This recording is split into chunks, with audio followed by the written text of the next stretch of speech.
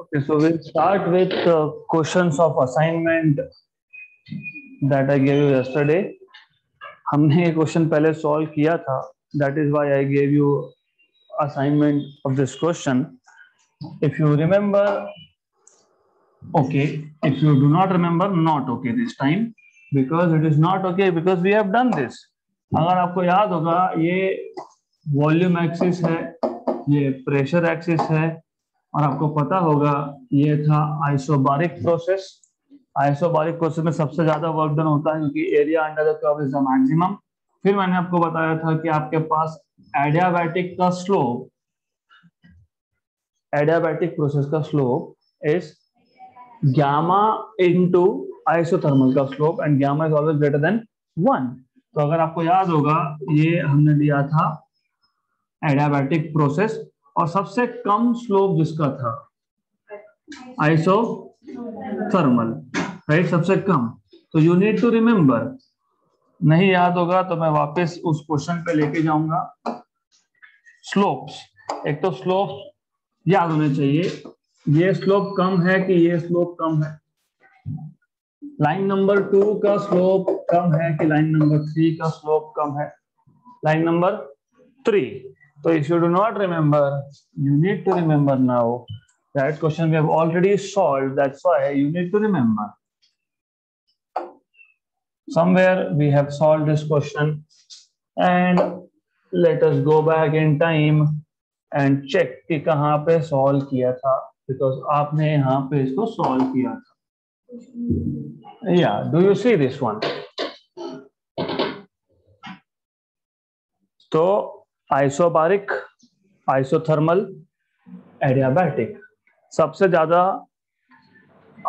Adiabatic का slope होता है, उसके बाद आइसोथर्मल का होता है, उसके बाद आइसोबारिक का स्लोप इज़ ज़ीरो तो सबसे ज़्यादा वर्क डन हुआ था, क्यों? क्योंकि maximum area under the curve is isobaric. उसके बाद आइसोथर्मल, उसके बाद adiabatic. Least work is done in case of adiabatic then isothermal and then isobaric and what about isochoric work done नहीं होता है. ज़ीरो वर्क डन होता है. Good because it is directly a straight line parallel to pressure axis तो you need to remember all this. आपको ये याद होना चाहिए. In this case,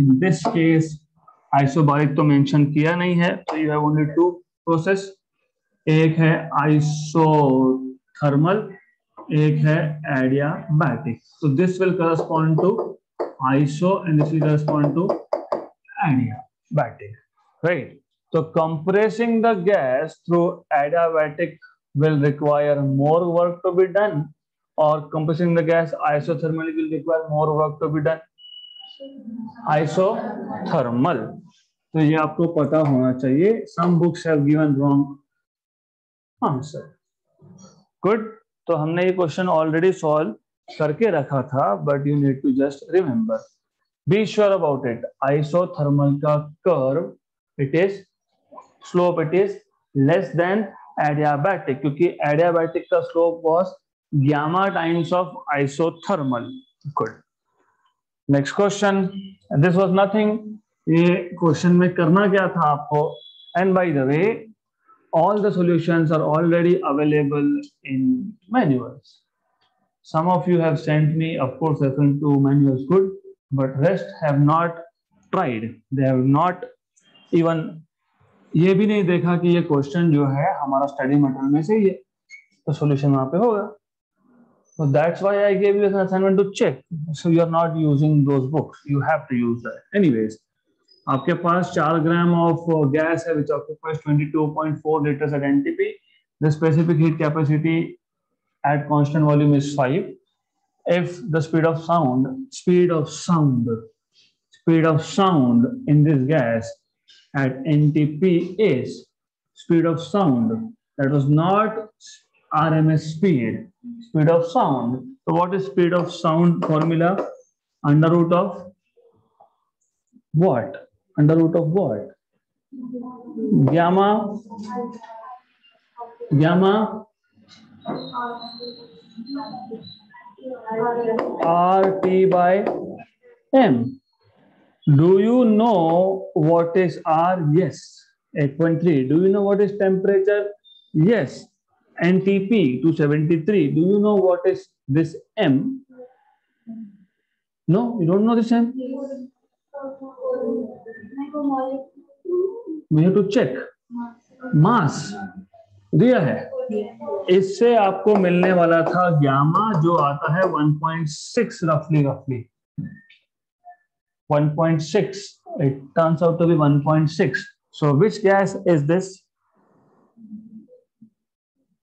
monoatomic. Why? Because 5 by 3 that is 10 by 6 तो वो कितना आता है? आपको पता होना चाहिए। So that is monoatomic gas तो यहाँ से, क्योंकि V की वैल्यू पता है, R पता है, T पता है, M पता है तो you will find out gamma तो ग्यामा मिल जाएगा। ग्यामा मिल गया तो हो गया question solve because gamma is CP by CV CP पूछा है और सीबी दिया है। तो CP is gamma times of CV 1.6 into 5 that is 8 खत्म 8 है कि ऑप्शन में option number D so, this is what you are supposed to do. Simple. तो under root of three R T by M नहीं use करना है because this is speed of sound in gas it is not speed of molecules of the gas okay then अगला question Twelfth number two Carnot engine A and B are operated in succession succession मतलब एक के बाद एक okay okay? The first one, A, receives heat from a source at T1 equal to 800 Kelvin and rejects to a sink at T2. The second engine B receives heat rejected by the first engine and rejects to another sink at 300. Simple question है। तो थोड़ा घुमा घुमा के बातें की है। In short what they are telling you is sink of first is source of second ये सोर्स ऑफ़ फ़र्स्ट है, ये सिंक ऑफ़ फ़र्स्ट है, और ये सिंक ऑफ़ सेकेंड है। तो this is source for first engine source for first engine sink for first engine source Of second engine and sink of second engine so source of 2 sink of 2 This is source of 1 and sink of 1. Right. The second engine B receives heat rejected by the first. मतलब जो sink था first का वो second का source हो गया ठीक है if the work outputs of the two engines are equal then the value of t2s work outputs are equal so basically you know from this diagram यहाँ पे heat absorbed q1 q1 from source temperature of T one यहाँ पे जो heat absorb हुआ है उसमें से Q2 होगा रिजेक्ट और बाकी जाएगा as a work done W1 right This temperature here is T2 so temperature here is T2 good let us say this temperature is T3 अब यहां से Q1 dash amount of heat will be absorbed, work done will be W2 and Q2 dash will be rejected. Right? And under the condition W1 equal to W2 ऐसा बोला है हमने. We are supposed to find out value of T2. Good. So how do you solve this? It is pretty simple. Simple question है. Efficiency का formula याद होना चाहिए. efficiency is equal to work output upon heat input तो मैं अगर A engine की बात कर रहा हूँ तो efficiency of A is work output of A and heat input of A जिसको मैंने Q1 बोला है is equal to 1 minus T2 by T1 similarly for engine B efficiency of B is work output upon heat input इस heat input को Q one dash बोला है आपने okay equal to one minus T two dash upon T T two dash upon T one dash हाँ अभी लिखना बाकी है so don't worry don't worry okay इसको W1 वन बोला है आपने. This is Q1 one one minus T two by T one ये W2 W2 Q1 dash. Q1 dash is is heat heat absorbed by engine 2 लेकिन कितना heat absorb किया? जितना heat first ने रिजेक्ट किया तो ये आएगा आपका Q1 one dash equal to Q two दूसरा उतना ही हीट ले रहा है जितना पहले ने रिजेक्ट किया। That is what you need to know one minus T two is sink T two dash is sink but sink का टेम्परेचर यहाँ पे क्या था? टी थ्री और T one dash is source but source temperature क्या है यहाँ पे? T two because sink of first is source of second तो टी टू राइट अब ये इक्वेशन नंबर वन और टू को अगर मैं डिवाइड कर देता हूँ if I divide these two let us divide तो ऐसा करते हैं W2 two by Q two upon W one by Q one equal to one minus T three by T two upon one minus T two by T one लेकिन work done भी equal बोले हैं। Cancel cancel तो this will give you Q1 by Q2 Q1 by Q2 equal to T2 minus T3 upon T2 upon T1 minus T2 upon T1 right? But if you remember, heat is nothing but a measure of temperature of the system. जितना ज़्यादा temperature उतना ज़्यादा heat तो Q is proportional to T. तो Q1 is proportional to T1 and Q2 is proportional to T2 correct ऐसे ही होता है ना? The more amount of heat you have the more the temperature of the system तो Q is proportional to T. तो Q Q1 by Q2 को मैं T1 by T2 लिख सकता हूँ। अगर यहाँ पे कंफ्यूजन क्रिएट हो रहा होगा तो don't worry in the next step next step में देखते हैं। तो नेक्स्ट स्टेप में हम लोग इसको लिखते हैं that but but q is proportional to t, so which also means आपके पास जो लेफ़्ट हैंड साइड पे q1 बाय q2 था तो यहाँ पे t1 बाय t2 आएगा। और ये जो t1 डिनोमिनेटर के डिनोमिनेटर में है, वो ऊपर जाएगा। So here you will have t1 by T2. This will go in the numerator and this T2 will be in the denominator. So you will have here T2 minus T3 upon T1 minus T2. Cancel, cancel, cancel, cancel. Matlab left hand side is just 1. So 1 equal to T2 minus T3 upon T1 minus T2. So T1 minus T2 equal to T2 minus T3. क्या find करना है? T two तो T two वहाँ shift करूँगा तो plus इसको यहाँ shift करूँगा तो प्लस तो T one plus T three is equal to two times of T2, but T2 will be equal to T1 plus T3 by 2. T1 कितना था? 800, T3 कितना था? 300, 1100 by 2 is 550 Kelvin. 550 Kelvin option number C. Okay, just a minute. Don't be in hurry to write down. This is correct. No doubt, this is correct. कोई problem नहीं है अब इतना सब करने की जगह पर let us make a trick अगर पहले का सिंक दूसरे का सोर्स है पहले का सिंक दूसरे का सोर्स है तो पहले का सोर्स टेम्परेचर और दूसरे का सिंक टेम्परेचर इनका एवरेज आएगा directly T two T one plus T three by two कब? जब पहले का सिंक दूसरे का सोर्स है।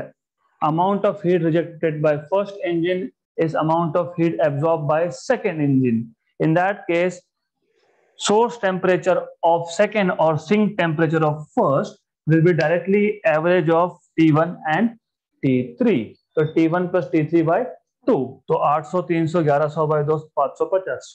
Done good okay so there's a trick here that you should note down. If the sink of first the sink of first engine is source of second source of second, then T2 equal to T1 plus T3 by 2.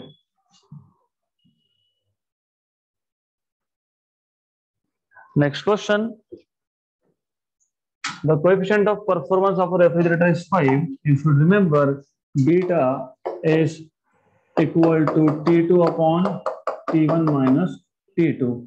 ये पाँच दिया है if the temperature inside the freezer is minus 20 matlab T2 is minus 20 degree Celsius okay temperature of the surrounding matlab T1 पूछा है तो 5 equal to minus 20 matlab 253 okay upon T1 they are asking you 253 here so this is equal to 5 T1 minus five into two five three two five three zero का half बारह सौ पचास और पंद्रह how much is this क्या करेंगे? इसको यहाँ पे लेके जाके मल्टीप्लाई करेंगे five T one into five two five three what is twelve sixty five that is twelve sixty five equal to two fifty three right good ऐसे ही है ना?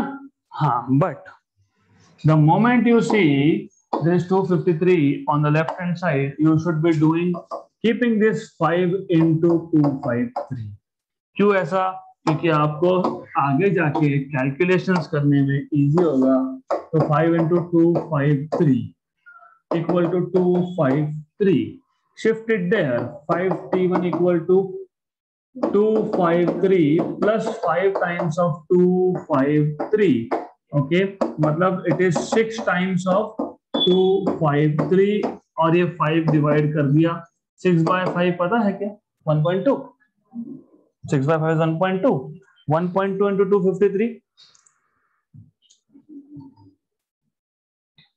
253 वन जा 253 बराबर 253.1 जा 25.3 2 जा 50.6 50.6 और 253 50.6 and 253 50.6 and 253 quick 303.6 303.6 कौन सा टेम्परेचर केल्विन की डिग्री केल्विन इसको डिग्री में कैसे कन्वर्ट करोगे?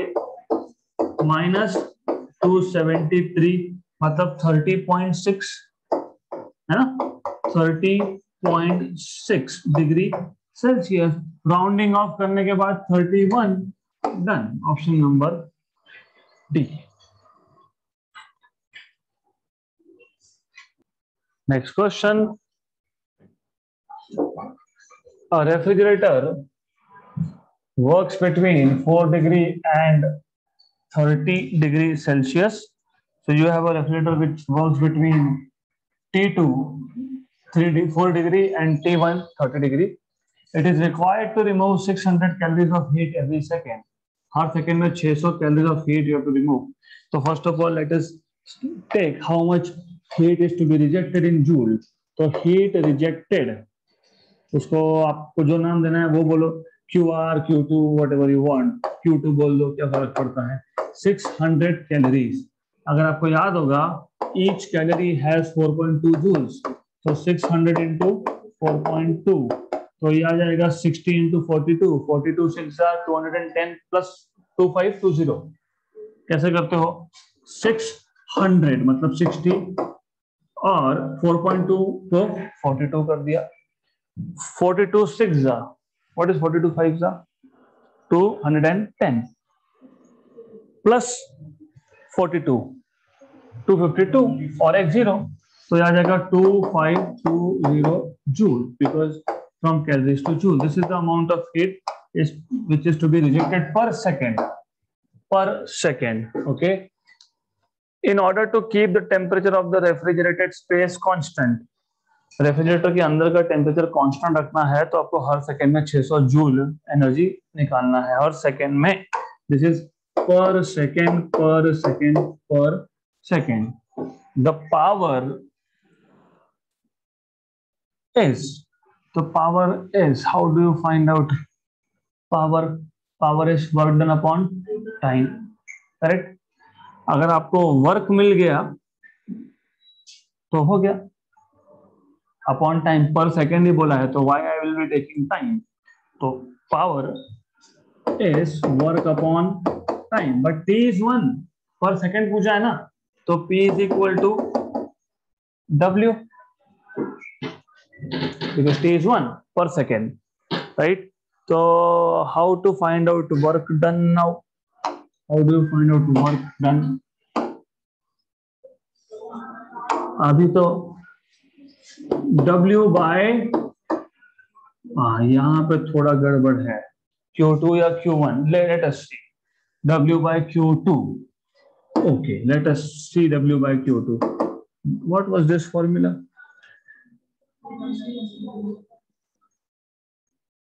गए यहीं पे गए वन माइनस समथिंग गए do you remember last few lectures back only for refrigerator सब बोल्ड में लिखा था। Only for refrigerator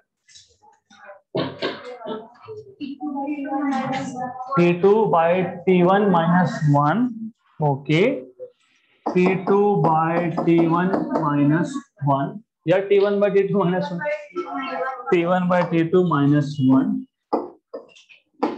okay और लेफ़्ट हैंड साइड कुछ याद है क्या? It was work done upon heat rejected या फिर work done upon total heat या क्या था? W बाय क्यू टू ठीक है, देखते हैं W फाइन करना है। So it is Q2 into T1 by T2 now is T is T1 T1 कितना? चार डिग्री। चार डिग्री ना T1 thirty degree higher temperature होता है वो। That is three zero three and this is to seventy seven minus one what is Q two अभी find किया। Two five two zero this is how much तीन सौ तीन में से टू सेवेंटी सेवन गए।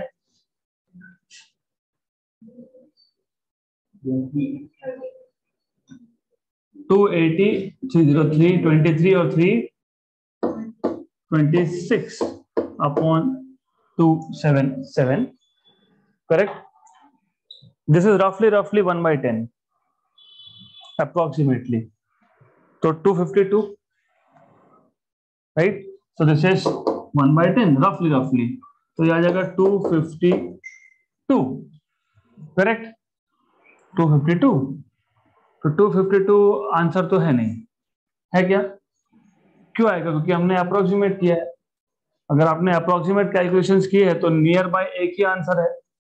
C right C two three six point five watt और watt कैसे आया? तो as I told you power is work done upon time right but time is one second तो power is work okay but terms and condition apply you need to check if this is correct अगर ये formula गलत use किया तो answer will be wrong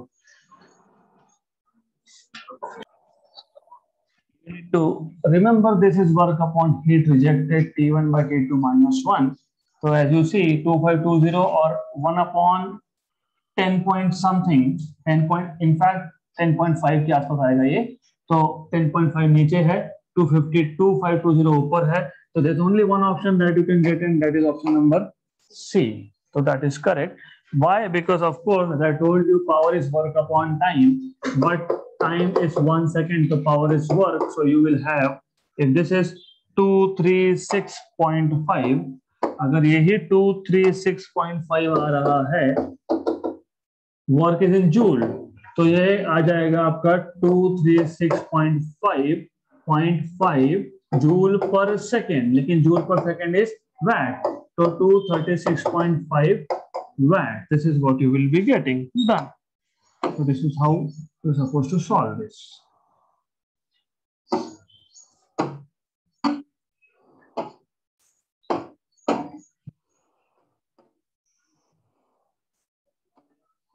okay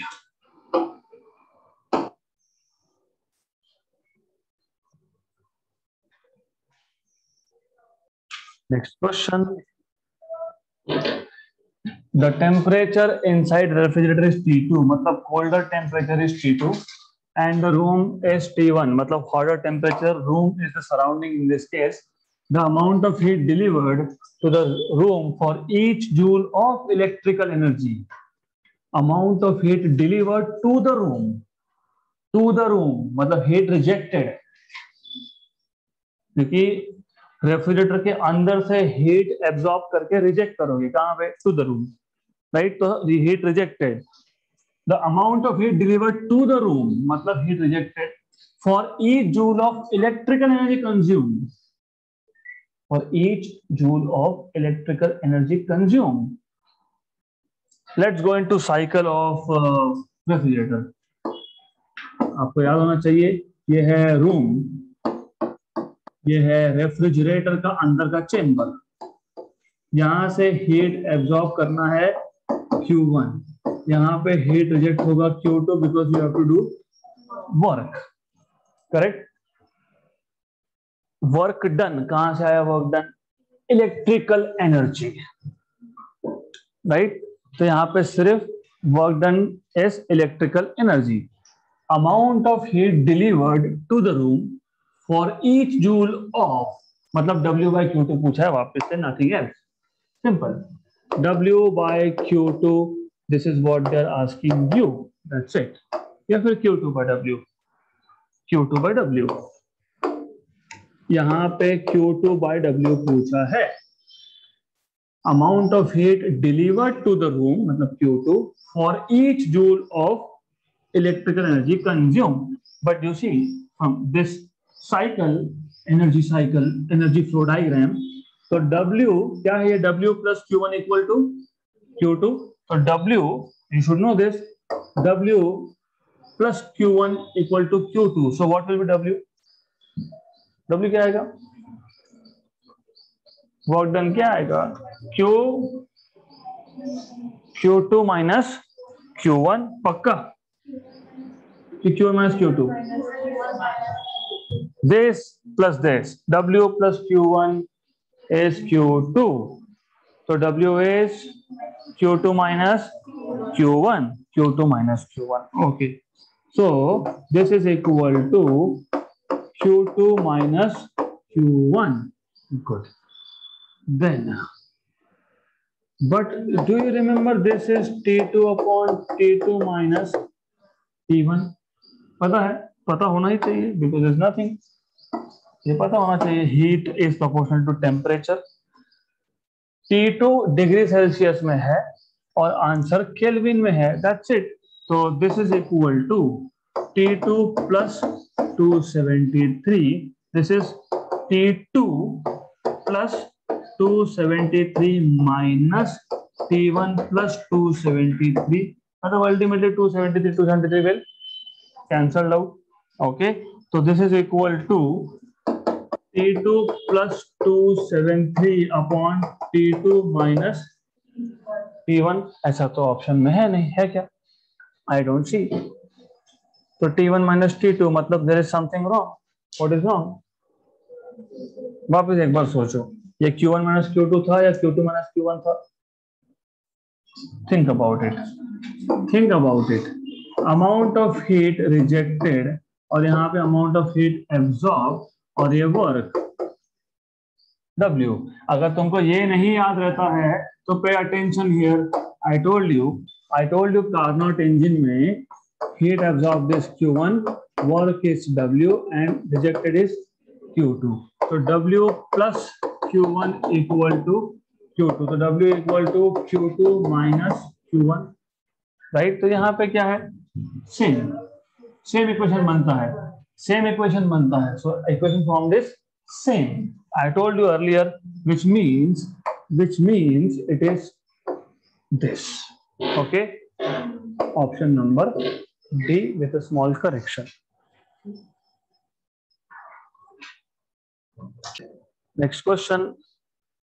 The efficiency of ideal uh, heat engine working between the freezing point and boiling point. What is freezing point? Zero degree. मतलब T2 is 273 Kelvin. What is boiling point? मतलब 373 Kelvin. Efficiency percentage wise पूछा है heat engine minus T two by T one ये efficiency है percentage efficiency is multiplied by hundred multiplied by hundred Okay, so this is equal to 1 minus T2 is 273. This is 373. सोचना नहीं 100 आता है ये This is 100. Cross multiply करोगे तो this is 373 minus 273 100 upon 373 into 100. So of course simple, very simple. 1 upon 3.7. 1 upon 4 is 1 upon 4 is 20 point twenty five ये one upon three point seven three into hundred है. One by four is point twenty five नीचे का नंबर छोटा होगा तो overall number बढ़ता है. If denominator is smaller overall number is bigger अगर वन बाय फोर होता तो पॉइंट ट्वेंटी फाइव लेकिन नीचे का क्या है? फोर से कम है. फोर से कम है मतलब number overall will be greater than 0.25 so it will be 26 point something. So that is 26.8 so this is equal to 26.8 percent option number a. So this is how you are supposed to solve 2018 ka NEET ka question hai ye. Next question. In which of the following processes heat is neither absorbed nor released 2019 NEET which of the following is not a thermodynamic coordinate? matlab thermodynamic variable p is a variable t is a variable v is a variable r is a constant. So that's it for today